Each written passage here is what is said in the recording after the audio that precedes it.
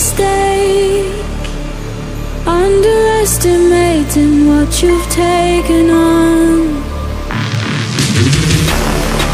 I'm out of the cage cause you opened the door. You're as innocent as gold